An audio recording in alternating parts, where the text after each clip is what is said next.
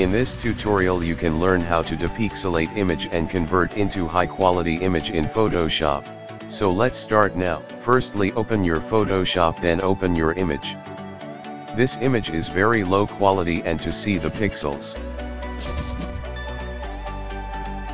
Go to image then image size.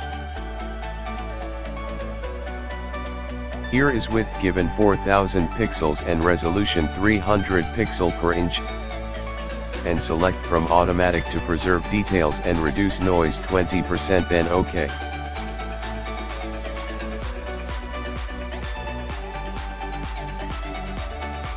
Now select your image layer and select spot healing tool and remove your skin all spots.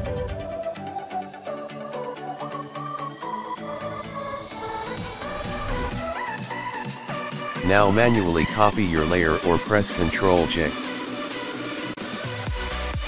Now go to filter then noise then reduce noise. Het strength 10% and preserve detail and color noise 0% and sharpen detail 10% then ok.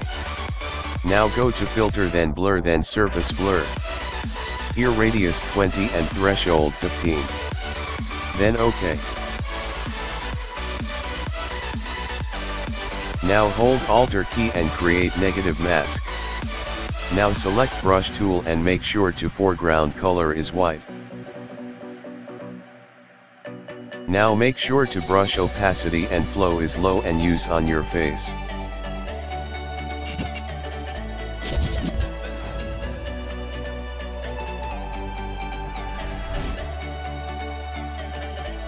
Now select your top layer and press Alt Ctrl Shift E for apply current image. Now go to filter then sharpen then smart sharpen. Here is sharpen amount I selected 55%, radius 1.2% and reduce noise 10%. That is depend on you desire how much sharpen you want. All selected then OK. Now apply color balance for more effective.